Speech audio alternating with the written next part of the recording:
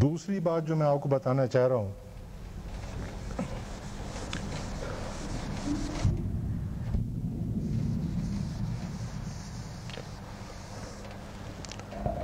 कि ये जो फॉर्मेट है अरबी में बहरहाल ये है कि वो जैसे ये इंसिस्ट कर रहे थे कि चौदह सीगे चौदह ही गिने जाते हैं। इससे पहले मुतकलम में जो रिपीटिशन है, तस्निया और जमा की, उसको वो एक मानते हैं, इसलिए चौदह गिनते हैं और इससे पहले जो रिपीटिशंस हैं, उनको वो काउंट कर लेते हैं। बहरहाल, और ये जो मैं आपसे कह रहा था कि ज़मीरों की पोजीशंस होती हैं तो असल में इसका लफ्ज़ है सीगा। ये चौदह सीगे का जो फॉर्मेट है, ये अब आपको अपने जहन में पक्का करना है। इसलिए कि वो जो 36 शक्लों का फॉर्मेट था, उससे तो आपकी जान छूट गई। इससे नहीं छूटनी।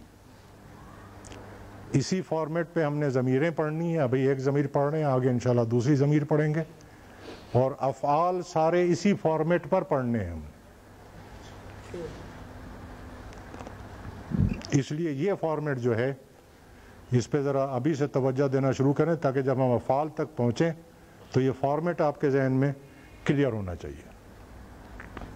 उस वक्त फिर ये सब लिखने के बजाय तीन तीन हरूफ लिखते हैं और जहन कहता जाता है कि ये मुन्नस गायब है और ये मुजक्कर गायब है और ये फला है और ये फला है। ज़मीरों के मतलब चंद बातें जो किताब में लिखी हुई हैं, उनको मैं रिपीट कर रहा हूँ। अगर कोई उलझन हो, कोई सवाल हो तो अभी मुझसे कर लें ताकि बात आपको क्लियर हो जाए। किताब खोलने की ज़रूरत नहीं है, वरना आप सवाल नहीं कर पाएँगे। पहली बात जो हमने पढ़ी थी कि ज़मीरें जो हैं वो सारी मारफा होती हैं। उसकी वजह आपके समझ में आ गई अब? हमने ये जुमला लिखा था ना कि आया और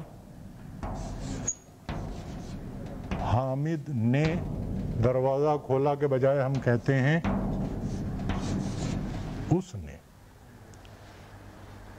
तो ज़मीर जो है, हमेशा किसी नॉन पर्सन के लिए इस्तेमाल होती है। इसलिए नकरा होने का सवाल ही नहीं है। यही वजह है कि ज़मीरें हमेशा मारफा होंगी। और जुमला इसमिया का पहला कायदा हमने क्या पढ़ा था? कि मुबतदा आम तौर पर मारफा होता है। Two plus two is equal to four क्या बना? कि ये ज़मीरें मुबतदा बन के आएँगी।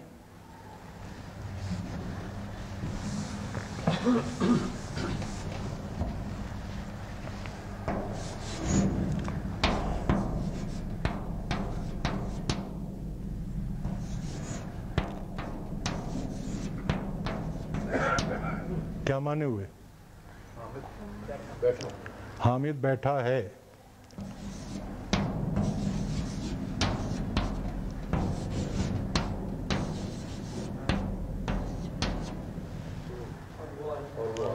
और वो आलिम है। अब ये दो जुमले हैं। हामिदुन जालसुन ये एक जुमला है। इसमें हामिदुन मुब्तदा जालसुन खबर। वाह लगा के, अब ये दूसरा मुकम्मल जुमला है। यहीं से हवा हटा दें, हामिदुन लगा दें। वही बात है। तो हुआ मुब्तदा है, आलिमुन उसकी खबर है। तो पहली बात तो ये कि ये ज़मायर जो हैं, मारफा होती हैं और मुब्तदा के तौर पर इस्तेमाल होती हैं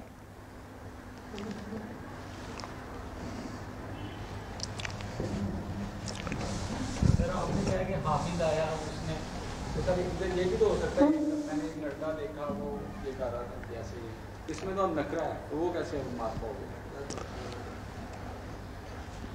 जब हम ये कह रहे हैं कि मैंने हाँ उनका सवाल बहुत सही है, समझें इसको। ये ये कह रहे हैं कि एक जुमला है कि मैंने एक लड़का देखा। अब तो वो लड़का जो है वो नकरा है। लेकिन जब हम ये कहते हैं, मैंने एक लड़का देखा और वो खड़ा था अब वो जो है उसका स्कोप वसत हाफिज अहमद यार साहब हमारे जो उस्ताद हैं उन्होंने जो वसत का उन्वान दिया है एक लड़का में तो वसत है। ही इज़ एनी बॉय लेकिन जब ये कहते हैं कि वो खड़ा था तो अब वो एनी नहीं है। वो अब उसी लड़के के लिए एक लड़का भी हो गया एक लड़का तो नकरई ट्रीट होगा। लेकिन उसके लिए जो ज़मीर आएगी वो मारफा मानी जाएगी। तारुफ उस लड़के का हो उसका हो चुका अब तारुफ। अच्छा जी, दूसरी बात ये, नोट करें कि हमने शुरू में, बिल्कुल पहला सबक, उसमें पढ़ा था कि निन्यानवे फ़ीसद अरबी के अल्फाज वो हैं जो रफ़ा नसब जर में तीन शक्लें मुख्तलिफ़ अख्तियार करते हैं। सॉरी अस्सी पचासी फ़ीसद। अस्सी पचासी फ़ीसद। बाकी चौदह पंद्रह फ़ीसद अल्फाज वो हैं, जो रफ़ा में एक शक्ल होती है, उनकी नसब और जर में यकसा रहती है, यानी दो शक्लें होती हैं उनकी। और गिनती के चंद अल्फाज हैं, जो मबनी होते हैं, यानी रफ़ा नसब जर में उनकी शक्ल एक ही जैसी होती है। तो गिनती के उन चंद अल्फाज में ज़मीरें भी शामिल हैं। यानी ज़मीरें जो हैं, ये मबनी हैं। और ज़्यादातर ये जो ज़मीरें हमने पढ़ रहे हैं हम हुआ हुमा हम, ये ज़्यादातर चूँकि मुब्तदा के तौर पर इनका इस्तेमाल होता है, काम आती हैं तो इनका ज़्यादा इस्तेमाल जो है वो हालत रफ़ा में है। यही वजह है कि इनको ज़मायर मरफुआ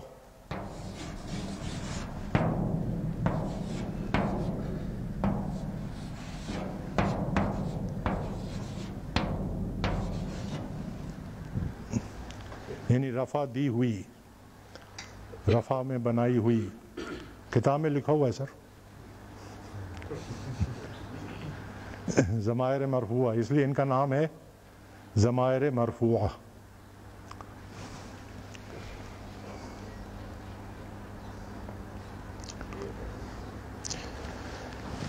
तीसरी खसूसियत इनकी ये ये भी किताब में लिखा हुआ है।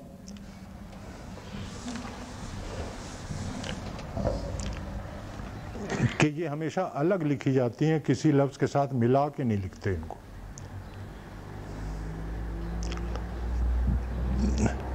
इसलिए इनको मुनफसला भी कहते हैं।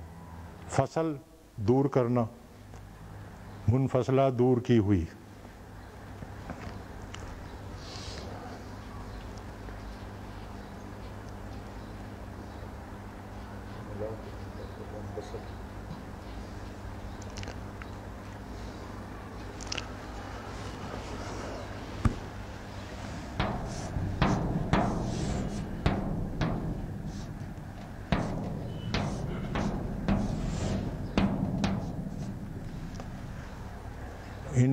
क्या फ़र्क है? इसका तलफ़ुज़ अबा। इसका तलफ़ुज़ अबा।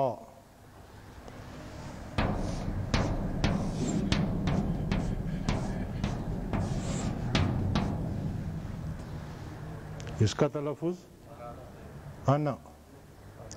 इसका तलफ़ुज़ अना। लेकिन कायदे के हिसाब से तो ये बनता है अना। लेकिन ये लिखा इस तरह जाता है, बोला इस तरह जाता है।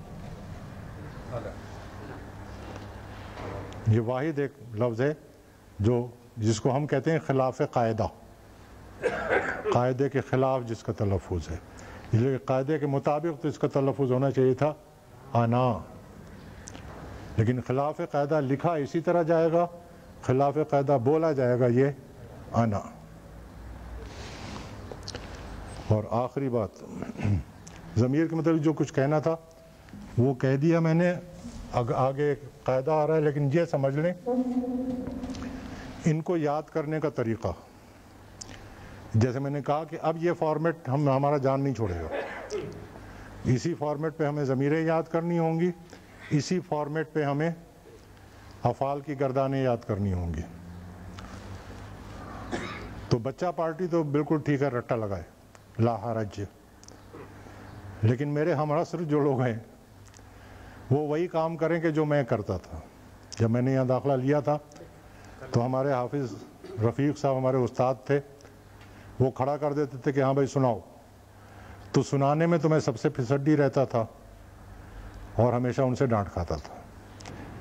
लेकिन जब वो लिखवाते थे तो लिखवाने में अल्लाह का शुक्र है, मैं कोई मात नहीं दे सका आज तक। उसका रीज़न यही है कि मैंने तरीका ये इख्तियार किया था कि जो भी याद करना है, ये इस फॉर्मेट में जो कुछ भी लिखा हुआ है, याद करना है, वो सामने रख लिया, किताब में दिया हुआ है। रफ कागज़ ले लिए, थोड़े से पेंसिल ले ली। चार पाँच मरतबा उस पर नज़र दौड़ाई, जहन में दोहराया और उसके बाद बगैर देखे हुए लिखना शुरू किया। जहाँ जहन अटका, वहाँ मैंने किताब देखी। किताब देख के उसको लिखा और फिर कोशिश की कि अगला लफ्ज़ बगैर देखे मुझे याद आ जाए। जहाँ अटकता था, किताब देख के आगे चलता था और फिर कोशिश करता था आगे चलने की। चार, पाँच छः कागज़ में फाड़ता था। तो उसके बाद बगैर देखे मैं चौदह सीगे कागज़ पे लिख डालता था। तो वो चूँकि कलम रवा हो जाता था तो लिखने में मुझे प्रॉब्लम नहीं होती थी, ज़बान रवा नहीं होती थी, बोलने में मुझे प्रॉब्लम होती थी। तो ज़्यादा उम्र के लोगों के लिए याद करने का ये तरीका, जो कलम को याद कराने वाला तरीका जो है, ये ज़्यादा बेहतर है। तो मैं यहाँ क्लास में किसी को नहीं खड़ा करूँगा ज़बानी सुनने के लिए। मैं जब भी चेक करूँगा, मैं कहूँगा, कागज़ पे लिख दो। और आखिरी बात जो अब करनी है, वो ये है।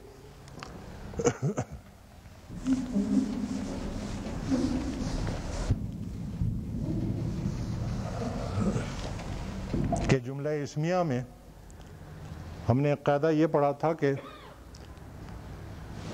खबर आमतौर पर नकरा होती है।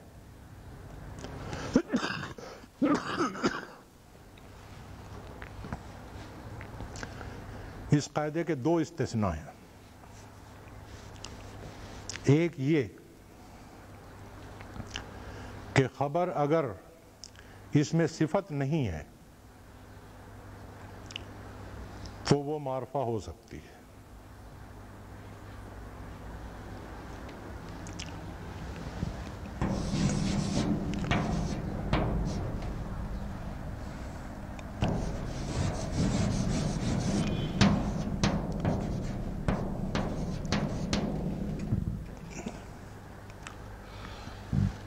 ये क्या है? इसमें सिफत है? पढ़ाने वाला, इल्म देने वाला, ये सिफत है। इल्म जो है वो जात, इसमें ज़ात है। जैसे कल मैंने आपको बताया था, किजबुन, झूठ, ये इसमें ज़ात है। काजेबुन, झूठ बोलने वाला, इसमें सिफत है। मुअल्लिमुन, इसमें सिफत है। इसको नकरई होना है। अगर हम ये कहें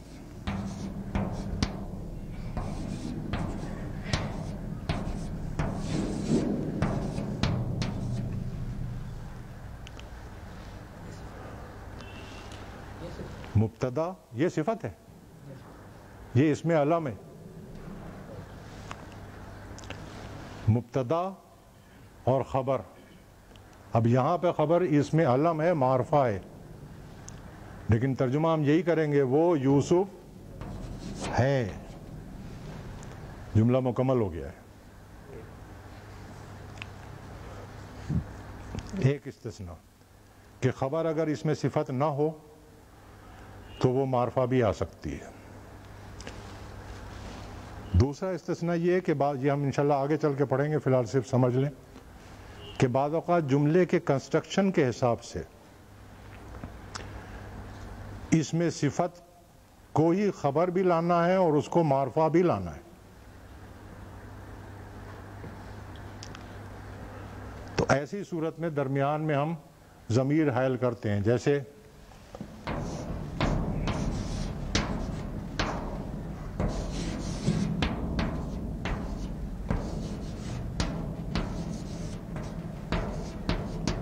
ये तो सीधा जुमला है। मर्द नेक है। लेकिन अगर हम उस मर्द को असालहो कहना चाहते हैं तो उसका तरीका ये है कि हम कहेंगे,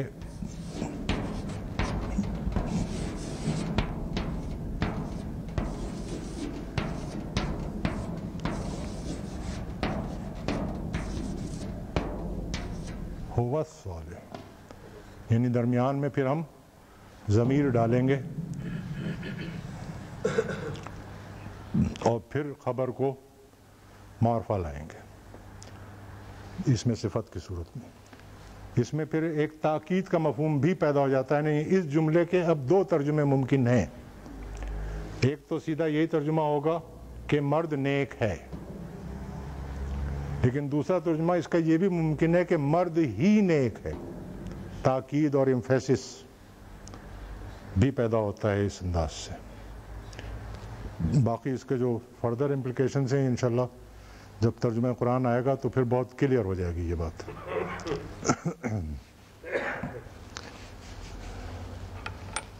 चलिए जी वजान का वक्त हो रहा है, इंशाल्लाह बाकी हाजिरी लेनी है आपने। चलिए अऊज़बिल्लिमिनशैतानरजीम बिस्मिल्लाहिर्रहमानिर्रहीम अब ये अपनी किताब का सफ़ा नंबर तिरसठ निकाल लें। और इस पर जो मश्क दी हुई है, उर्दू में तर्जुमा करें। ये आप लोग करके लाएँ, इसको हमने चेक करना है, लेकिन बुनियादी बात ये नोट कर लें कि तर्जुमा हम बाद में चेक करेंगे। पहले हमने जुमले के कंस्ट्रक्शन को चेक करना है। जिसे मैंने आपको बताया था कि एनालिसिस ऑफ़ सेंटेंस हम अंग्रेज़ी में करते थे। वही काम जब अरबी में होता है तो हम उसे कहते हैं जुमले की तरकीब। तो जुमले की तरकीब जब तक समझ में ना आए, उस वक्त तक ये यकीनी बात नहीं है कि तर्जुमा सही हो जाएगा। तरकीब समझ में आएगी, तब तर्जुमा दुरुस्त होगा। तो पहले तरकीब पर गौर करना है और उसके बाद तर्जुमा चेक करना है। इसमें एक मसलियत ये भी है कि अब तक जुमले इसमिया के जो कवायद आपने पढ़े हैं तरकीब चेक करते हुए तमाम कवायद का रिवीजन होगा। और ये आखिरी एक्सरसाइज है आपकी, जुमला इसमिया की। इसके बाद इंशाल्लाह हम मरकबात नाकसा की दूसरी किस्म, यानी मरकब इजाफ़ी पढ़ेंगे तो ज़ाहिर है कि उसमें ज़्यादातर मशक़ें जो होंगी वो मरकब इजाफ़ी की होंगी। कभी कभी कोई जुमला इसमिया भी आ जाएगा।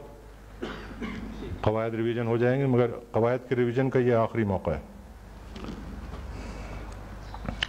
अल खादिमानी अल खादिमानिल मबसूतानी, हाजिरानी, वहुमा मुजतहिदानी। अल खादिमानिल मबसूतानी। नोट करें कि मुरकब तोसीफ़ी है, नंबर एक। नंबर दो ये कि ये मारफा है। नंबर तीन ये कि ये हालत रफ़ा में है। जब ये दो बातें आप पहचानेंगे, तब आपको पता लगेगा कि ये मुबतदा है। अगर इस हवाले से आपने पहचाना है कि मुब्तदा है, तब तो बात दुरुस्त है। और अगर इसके बगैर आपने कहा है कि मुबतदा है तो वह रजमम बिलगैब है। अंधेरे का तीर है। सही भी हो सकता है गलत भी हो सकता है। सीगा तस्निया है। अदद तस्निया है तो इस तरह हमने ये पहचाना है कि अल खादिमानिल मबसूतानी जो है ये मुब्तदा है और हाजिरानी ये नकरा है और हालत रफ़ा में है। इन दो बुनियादों पर हम पहचानेंगे कि ये खबर है। फिर हम तर्जुमा सही करेंगे। तस्नीय के सीगे की वजह से हम कहेंगे दो खुश दिल खादिम हाजिर हैं। दोनों खुश दिल नौकर औरतें।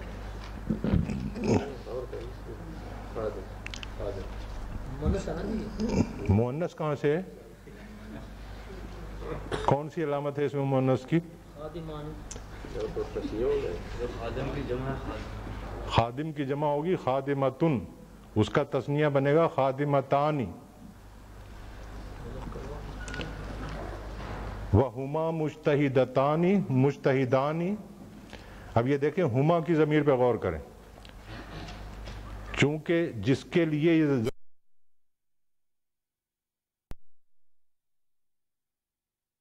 निस्बत से तस्निया की ज़मीर आई है हुमा। और वो दोनों मुश्तहिदानी मेहनती हैं। तो ये क्या वाजिब वो दोनों? और वो दोनों मेहनती हैं।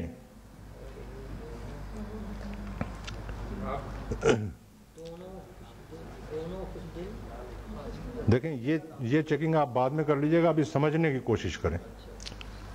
दूसरा जुमला है इन्नल अरवा व जी? इनल जी। इन्नल अरवा व समावाति मखलूकातुम व हुन्न आयातुम बैनातिन अब इस बैनातुन अब इसमें इन्ना की वजह से अल अरवा नसब में आ गया। लेकिन ये गौर करें कि वह समावात जर में क्यों है? किसका गैर मुकसर है तो जो भी गैर मुकसर हो वो जर में आएगी। जी क्या बता रहे हैं? ये नसब में है। याद आया कि नहीं? आतुन आतिन आतिन। ये भी नसब में है इन्ना की वजह से। तो मालूम हो गया कि ये और ये दोनों मारफा हैं। इन्ना की वजह से नसब में है मालूम हो गया ये दोनों इन्ना के इसमें अगर आप पुराना तो। बताएँ अगर दोबारा ये चीज़ बता दीजिए। हम्म कि किसी चीज़ को ये देखने के लिए कि ये मुब्तदा है। हम्म। आप सबसे पहले किस चीज़ को देखेंगे? मुरक्कब है मुरक्कब तोसीफ़ी है। सबसे पहले हम देखेंगे कि मुफरद है या मुरक्कब है। नंबर वन पहला स्टेप उसके बाद हम उसकी वसत चेक करेंगे। फिर उसकी वसत चेक करें वसत चेक करेंगे। इसलिए कि आम पहचान यही है कि मुबतदा मारफा होता है खबर नकरा होती है। ठीक है? और उसके बाद हम उसकी एराबी हालत चेक करेंगे। अगर रफा में है और कोई आमिल नहीं है तो ठीक है। इसी तरीके से खबर के लिए? खबर के लिए भी वो मतलब ये कि पहले वसत चेक करेंगे। उसके बाद उस वसत के बाद उसकी हालत एराबी खबर? तो मतलब जिन्स और अदद जो है वो तो मुब्तदा के ताबे होगा। ठीक। है इसलिए मुबतदा और खबर पहचानने के लिए ये चीज़ें चेक करना ज़रूरी है। अच्छा जी इन व समावात इन्ना की वजह से अल्लादा मारफा होने की वजह से ये इन्ना का इसम है और नसब में है। असमावात ये भी इन्ना का इसम है और नसब में है। अब मखलूकातुन इसका जिन्स और अदद क्या है। ये मुअन्नस और जमा। मुअन्नस और जमा। तो क्यों? इन्ना के इसम तो दो हैं ये जमा क्यों आ रहा है? और मुअन्नस क्यों आया है? अर्ज़ वाहिद है समावात जमा है दोनों मिलाएँगे तो जमा बन जाएगा। नंबर वन मुअन्नस क्यों है? अर्ज़ और समा मुअन्नस। अर्ज़ भी मुअन्नस से समाई है और समाउन भी मुअन्नस से समाई है। क्लियर हो गई बात? तो और इसकी वसत जो है ये नकरा है मालूम हो गया कि ये उसकी खबर है। अब हम तर्जुमा करेंगे कि यकीनन या बेशक ज़मीन और आसमान अब उर्दू में आसमान यहाँ इस जुमले में जमा नहीं आएगी। वैसे तो आसमानों इस्तेमाल हो जाता है लेकिन यहाँ पे नहीं इस्तेमाल हो सकता। यह तमाम आसमान। मखलूक़ात हैं। मखलूक है एक ही बात। वह हुन्ना अब ये ज़मीर पर गौर करें। ये जमा मुअन्नस की ज़मीर आई है। वह हुन्ना आयातुम बैनातुन ये मरकब तौसीफ़ी है ख़बर। और नकरा है हालत रफ़ा में है। इससे हम पहचानेंगे कि यह खबर है।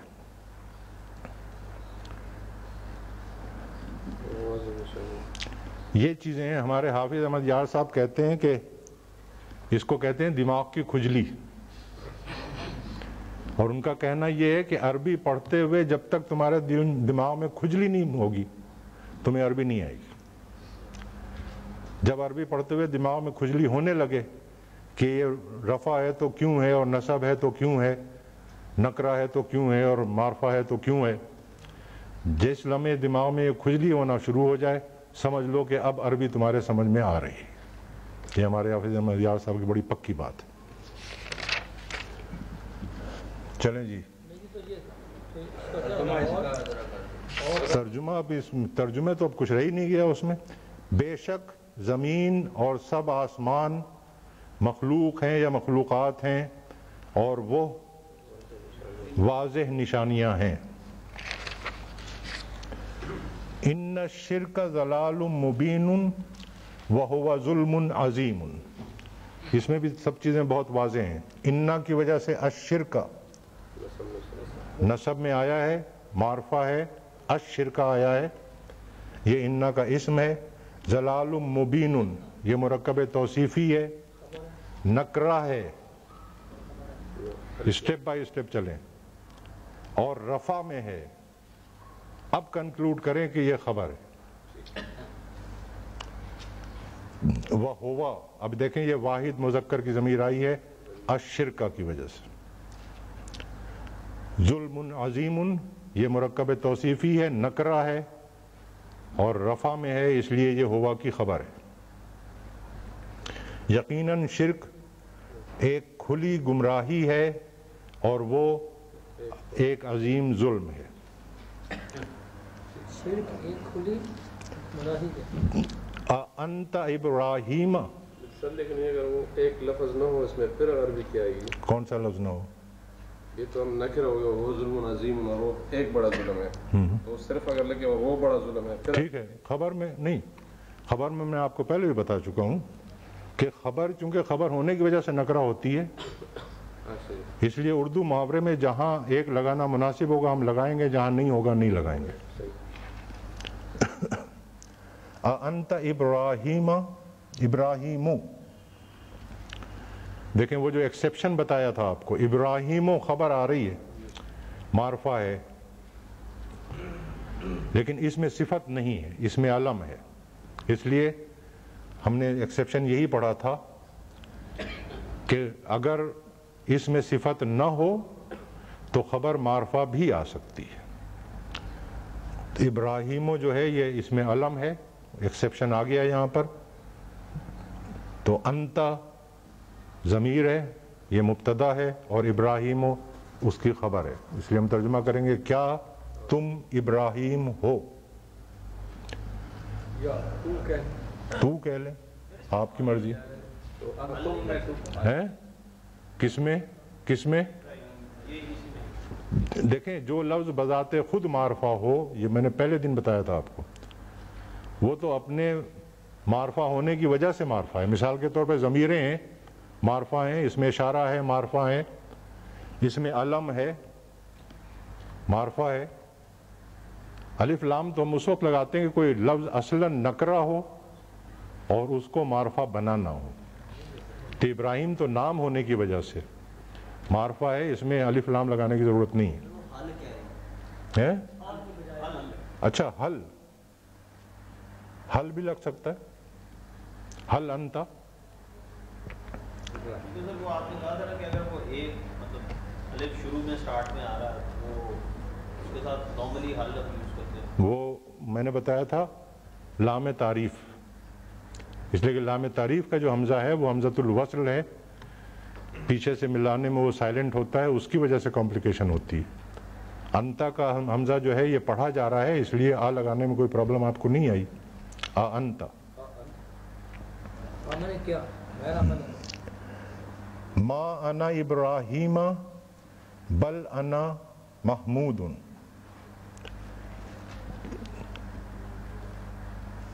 जिसमें अना जो है ये ज़मीर है मुब्तदा है और इब्राहिमा माँ की खबर है। इसलिए नसब में बल अना महमूदुन। अब देखें, महमूदुन पर माँ का असर नहीं आया। दरमियान में बल आ गया है, या वाह आ जाए, नया जुमला शुरू हो जाए तो नया जुमला फिर इंडिपेंडेंट ट्रीट होता है। पिछले जुमले में अगर कोई आमिल आया है तो उसका असर उस जुमले पर नेक्स्ट सेंटेंस पे कैरी ओवर नहीं होगा। इस चीज़ को नोट कर लें। माँ अना इब्राहिमा, मैं इब्राहिम नहीं हूँ, बल अना महमूद बल्कि मैं महमूद हूँ। हल जैनब मुअल्लिमतुन कसलानतुन। अब जैनब इसमें अलम होने की वजह से मारफा है और हालत रफ़ा में। ये मुब्तदा है और मुअल्लिमतुन कसलानतुन, ये मुरकब तोसीफ़ी है, नकरा है। और मारफा है। इसलिए ये खबर में क्या जैनब सुस्त उस्तानी है या एक सुस्त उस्तानी है, दोनों तर्जुमे सही है। ला माँ ही मुअल्लिमतन कसलानतन,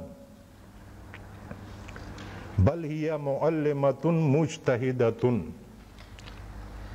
हिया ये वाहिद मुन्नस की ज़मीर है।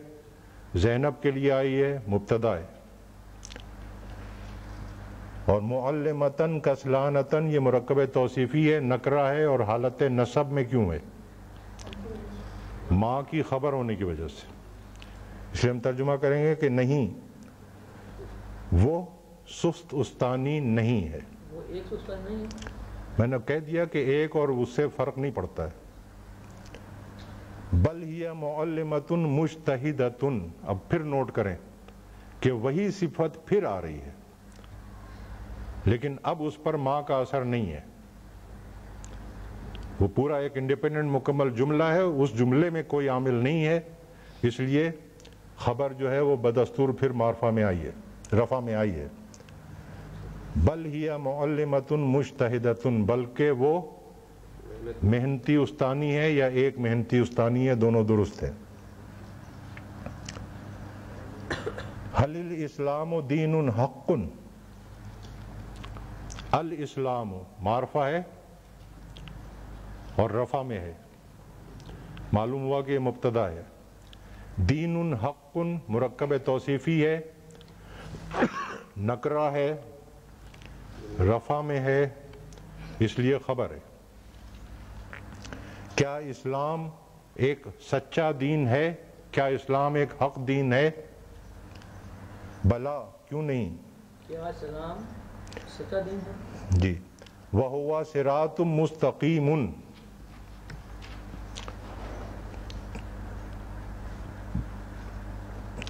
नोट किया आपने बला का इस्तेमाल? जब बला कह दिया तो पिछला जो जुमला था उसको अब रिपीट करने की ज़रूरत नहीं है। बल्कि उसमें कोई मजीद इजाफा किया जा रहा है, तब वो आगे बात आ रही है।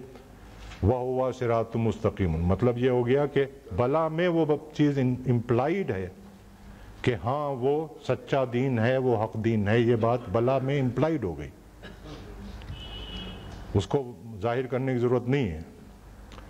वह हुआ सिरात मुस्तकीम। और तो हुआ यहाँ पे फिर दूसरा मुबतदा है और सिरात मुस्तकीम उसकी खबर है। अदरस सहलुन, लाकिन हुआ तवील अदरसो मारफा और रफा में है, मुबतदा है, सहलुन उसकी खबर है। सबक आसान है, लाकिन उर्दू में हम कहते हैं लेकिन होवा, अब ये होवा दर्स की ज़मीर है, वाहिद मुजक्कर। मुब्तदा तवील उसकी खबर। लेकिन वो लंबा है, तवील है। अलफ़ीलो हयावानन जखीमन। लईसा आया है। अलफीलो ये मारफा और रफा में है मुब्तदा है और लैसा की वजह से खबर जो है वो नसब में आई है। हैवानन जखीमन। बड़ी जसामत। बड़ी जसामत वाला हैवान है। हैवान नहीं है। क्या हाथी बड़ी जसामत वाला हैवान नहीं है?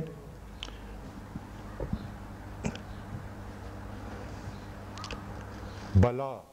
अब देखें बला का जो, दूसरा इस्तेमाल नोट करें। बला के बाद वो पिछली बात दोहराई जा रही है। लेकिन उसमें एक सिफत का फिर इजाफा किया जा रहा है। अगर ये इजाफा मकसूद ना होता तो बला काफ़ी था। बला का मतलब यही हो गया कि हाँ वो जखीम जान, बड़ी जसामत वाला जानवर है। लेकिन जिद्दन कहना मकसूद है, इसलिए वो पूरी बात रिपीट की गई है। बला क्यों नहीं? हुआ हैवान जखीम जिद्दन।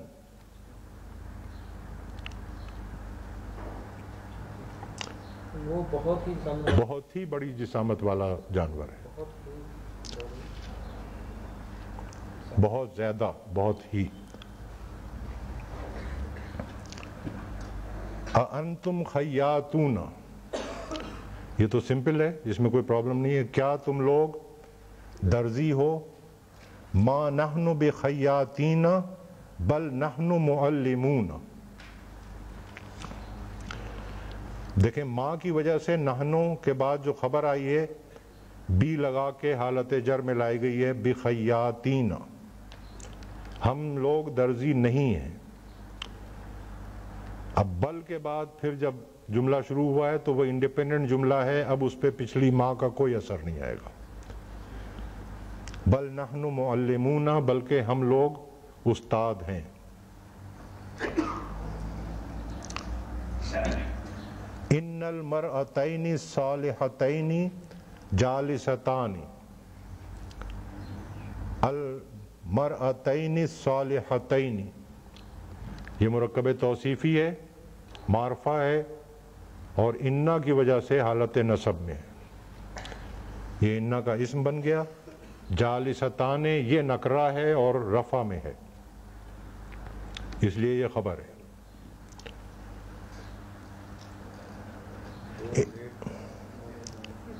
दो नेक औरतें बैठी हैं सिंपल यकीनन यस बेशक या यकीनन दो नेक औरतें बैठी हैं।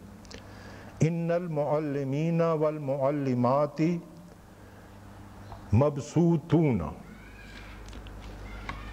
कोई कायदा याद आया आप लोगों को?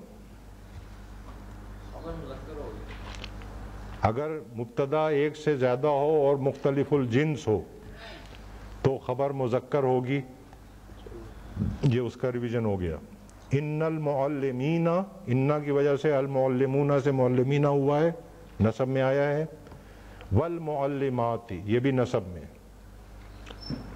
और उनकी खबर मबसूतूना मुजक्कर। खुश दिल हैं। यकीनन असातिज़ा इसातजा और उस्तानियाँ खुश दिल हैं। लाकिन माँ हम बेमुश्तहीदीना। फिर देखें। हम जमा की ज़मीर आई है मुब्तदा में लेकिन मुजक्कर की आई है हुन्ना नहीं आया। है हालाँकि मुअल्लिमात शामिल हैं इसमें। चूँकि मुख्तलिफुल जिन्स हैं और दो, एक से ज़्यादा हैं, इसलिए अब रियायत मुजक्कर की रखी गई है, हुन्ना के बजाय हम। और मुजतहीदीना ये भी मुजतहीदीना ये भी मुजक्कर है, मुजतहिदातिन नहीं है बेमुजतहिदातिन नहीं है। चलें जी, अब ये उर्दू से अरबी, ये हम बाद में चेक करेंगे। पहले ज़रा हम अगला सबक। अब किताब बंद कॉपी बंद।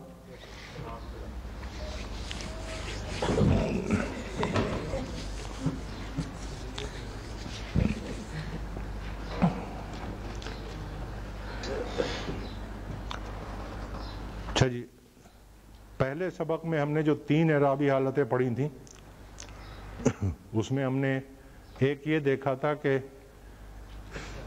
बाज़ अवक़ात किसी इसम को किसी दूसरे इसम से नस्बत दी जाती है। और मिसाल उस वक्त क्या दी थी याद नहीं है। यूँ समझ लें, जैद की किताब। इसमें दो इसम आए हैं, एक है जैद और दूसरा है किताब। किसको किससे निस्बत दी गई है? किताब की निस्बत- दी गई है और जैद की तरफ़ निस्बत दी गई है। और ये नस्बत किस नौयत की है? मिल्कियत। ये नोट कर लें कि निस्बतें एक से ज़्यादा हैं। जी नहीं। यहाँ नोट करें। निस्बतें एक से ज़्यादा हैं। हम काम को आसान करने के लिए मिल्कियत की नस्बत के हिसाब से कवायद समझ लेंगे। और उसके बाद इंशाल्लाह आप इतने अक्लमंद हो जाएँगे कि हम सिर्फ़ इशारा करेंगे और आप बात समझ जाएँगे। बाकी नस्बतें सिर्फ़ हम इशारा करेंगे कि ये नस्बत है और आप समझ जाएँगे। तो इस वक्त हम सिर्फ़ मिल्कियत की नस्बत के हिसाब से चलेंगे। इसमें किताब को नस्बत दी गई है और जैद की तरफ़ नस्बत दी गई है। जिसको नस्बत देते, दी जाती है, उसको कहते हैं मुजाफ। और जिसकी तरफ़ नस्बत होती है, वो कहलाता है मुजाफ इलई उर्दू में क्या तरतीब नज़र आई आपको? कि पहले मुजाफ आता है और फिर मुजाफ आता है। अरबी में तरतीब उल्टी है, पहले मुजाफ आता है, बाद में मुजाफ आता है, इसलिए तर्जुमा करते वक्त हमें फिर वो तीर चलाना पड़ता है। मैंने इसीलिए आपसे कहा था कि अब इस क्लास में चलेंगे तीर। तो सबसे पहले हमने किताब का तर्जुमा करना है और उसके बाद हमने जैद का तर्जुमा करना है।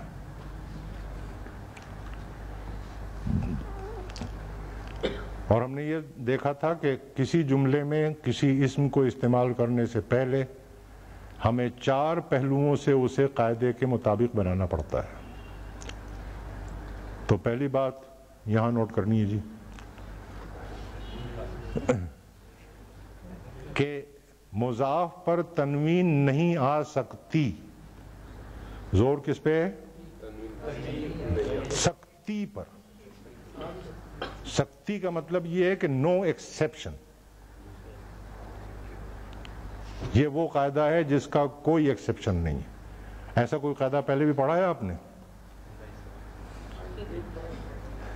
बड़ा खड़ा था याद नहीं जब लाम तारीफ़ आ जाए किसी इसम पर तो उस पर तनवीन नहीं आ सकती। ये पक्का कायदा था, नो एक्सेप्शन। इसी तरह से मुजाफ पर तनवीन नहीं आ सकती, ये पक्का कायदा है। मतलब ये हुआ कि अब किताब का तर्जुमा हम किताबुन नहीं कर सकते this is out of question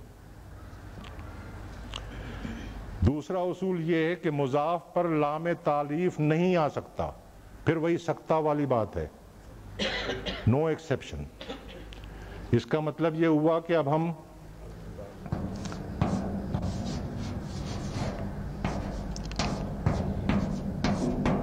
अल किताबों भी तर्जुमा नहीं कर सकते। तो फिर करें क्या? किताबू।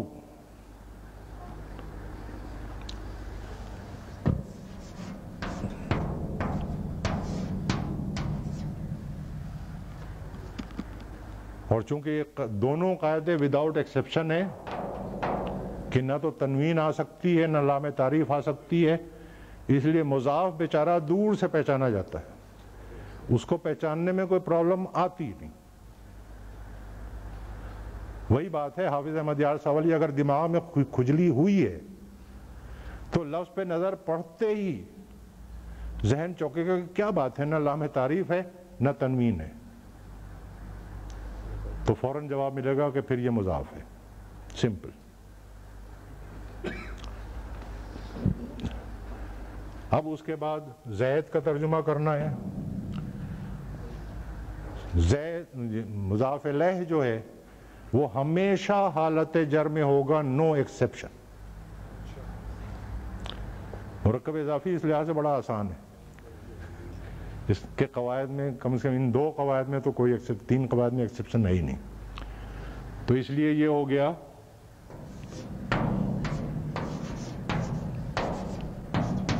जैदिन उर्दू में तर्जमा करेंगे तो फिर क्रॉस करेंगे। जैद की किताब।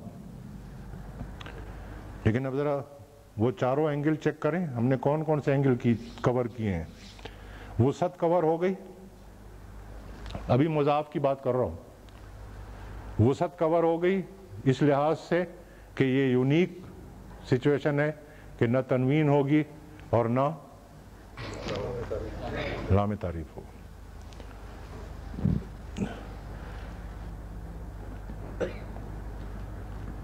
एराबी हालत, मुजाफ की एराबी हालत जो है, वो वजह के हिसाब से तयन होगा। ये रफा भी हो सकती है नसब भी हो सकती है जर भी हो सकती है। मुजाफ की बात कर रहा हूँ। अभी हम चूँकि बगैर वजूह के पढ़ेंगे शुरू में तो मुजाफ को हम रफा में रखेंगे। लेकिन आगे चल के जब हम वजूहत के साथ पढ़ेंगे तो फिर एराब जो है वो मुजाफ का चेंज होगा रफा नसब जर में ये आएगा। दो चीज़ें तय हो गई।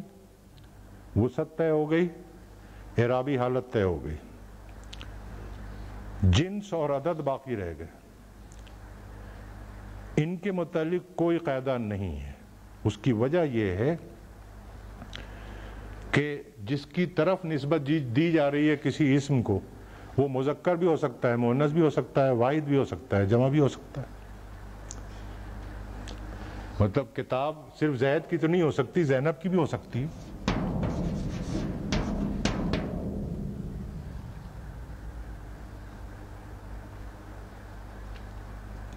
किसी एक तालबा की भी किताब हो सकती है और तालबात की भी किताब हो सकती है। तो चूँकि उसमें कोई वो नहीं है, इसलिए ये दो पहलू जो हैं, ये इसके आज़ाद हैं। मुजाफिल में देख लें। वसत, मारफा भी हो सकता है, नकरा भी हो सकता है।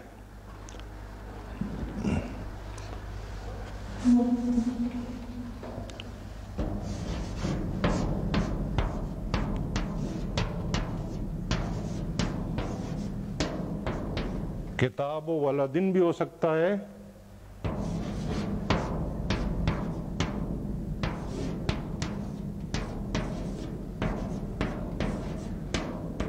किताबुल वलदी भी हो सकता है। क्या फ़र्क है इन दोनों में? किताब वलदिन किसी लड़के की किताब, एक लड़के की किताब। ये मखसूस लड़का जो बात करने वालों के जहन में मौजूद है। मऊद जहनी जिसे कहते हैं, लड़के की किताब। तो वसत के लिहाज से मुजाफिल जो है वो मारफा नकरा दोनों हो सकता है। इसी तरह से जिन्स और अदद के लिहाज से भी खुला है हिसाब। जिन्स मुजक्कर भी हो सकती है, मोहनस भी हो सकती है, अदद के लिहाज से वाहिद, तस्निया, जमा कुछ भी हो सकता है। हालत एराबी इसकी फिक्स है। जर बस। यानी इसमें मुजाफ में दो चीज़ें फिक्स हैं वसत के लिहाज से न तो इस पे लाम तारीफ़ आ सकता, न तनवीन जा सकती। और दूसरी क्या फिक्स है?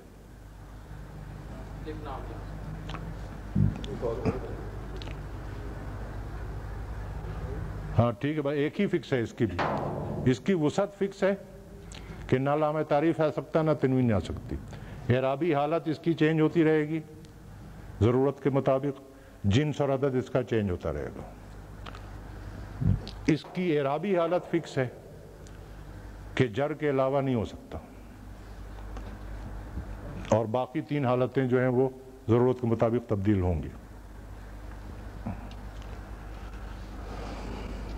मगर ये ताबे नहीं होगी। वो अलग अलग होगी। हाँ वो मतलब किताबें कैसे हो सकती हैं कि एक किताब भी मिल्कियत हो सकती है और पूरी लाइब्रेरी भी मिल्कियत हो सकती है? मुजक्कर की भी मिल्कियत हो सकती है मोहनस की मिल्कियत हो सकती है, अलादल कैस। चलें जी, ये तो हो गया, अब ज़रा हम इसकी मशकें करेंगे।